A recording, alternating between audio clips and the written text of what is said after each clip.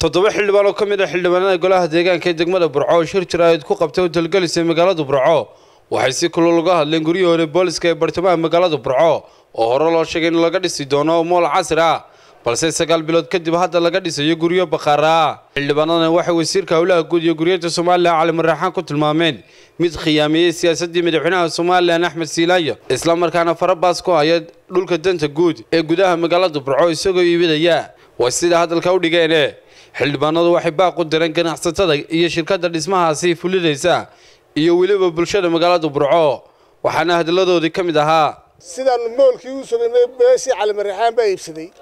Afar iyo konton bakhaar buu ka dhigay. Dad shici buu ka iibiyey. Ee lix lix qol buu u jaray. Mulkiyad muu siinin. Shirkadda najaxee dhisasa waxaanu u sheegaynaa inay halkaa ay maraysa ay ku joojiso qoraalkiina waa kaasoo waxaan ku saxnay saddex iyo toban xildhibaan waana duminaynaa waana sharci darro. Haddii cid la siinayo dadkii lahaa ha la siiyo bilayska ahaa ha la siiyo. Mool bay ahayd. Afar iyo kontonkaa wuxuu cali siiyey. Lacag afar bilyana afartaa bilyan. Dee wuxuu ugu ololinayaa xusbi. Ma isagaa qaatay. War waxaanu leenahay ha lagala xisaabtama hantidaa uu halkaa geliyey ka qaaday ummadda. Waxaan kaloo ummadda u caddaynaynaa digreetadii madaxweynuhu soo saaray ee wasiirka howlaha guud ugu dhiibeeyey waxaa ku qornayd dhulku kama bixi karo gacanta dawladda mana geli karo gacanta dadweynaha oo dadweynaha lagama iibin karo lamana siin karo. Wuxuu ahaanayaa dhul dawladeed suuq dawladeed buu ahaanayaa baa ku qoran digreetada madaxweynuhu soo saaray. Waa nasiib darro in amarkii madaxweynaha uu jabiyo wasiirkiisa iyo howlaha guud. Ma garanayna kalsoonida halku haysto? Uu ku jabinayo amarkii madaxweynaha. Waxaanu leenahay wasiir cali maleexda waxaanu leenahay wasiir ummadda ka xishood. Maanta taladii aad noo dhiibateen baanu ku talinanaaye nagu taageera. Wixii burco wax yeelayaanu ka qaban. Kumaddana waxaanu leenahay dee magaaladii burco olomaayarun baanu ku ogeyn dhacee.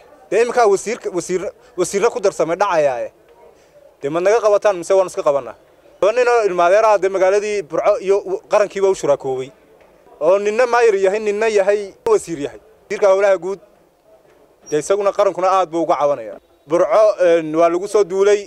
Bulshadiina soo dooratayna waxaanu u sheegaynaa annagoo xildhibaanadana inay burco taladii u gashay dad burcada.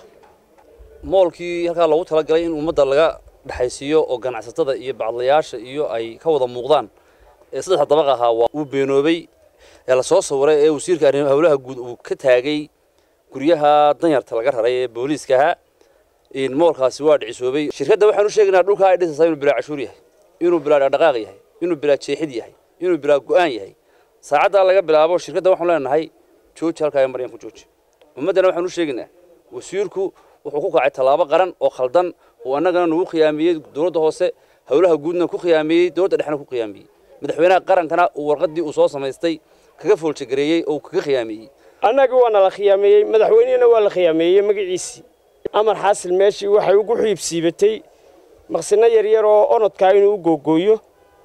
Dad ka iibsho lacag ka gurto. Sida naloo sheegay lacag afar malyuun oo dollara ayuu ninkaasu meeshaa ka ururiyey. Jeeb ay ku dhacdayna annagu al aana ma hayno. Meeshan annagaa dawlad ka ahayn loo kala gabanman baanu annagaa xukunnaa suuqyada iyo haddi ee meheradaha boob cad baana lagaga qaaday. Meeshii gacantii way ka baxday dawladda ninkaas sii ordaya ee waddankii fuuqsaday ee biluhu u hadheen ee sida axmaqnimadaa u guranaya waddanka gebi ahaanba laga qayliyey baa gacanta ku haya. Sidaasaanu go'aansannay.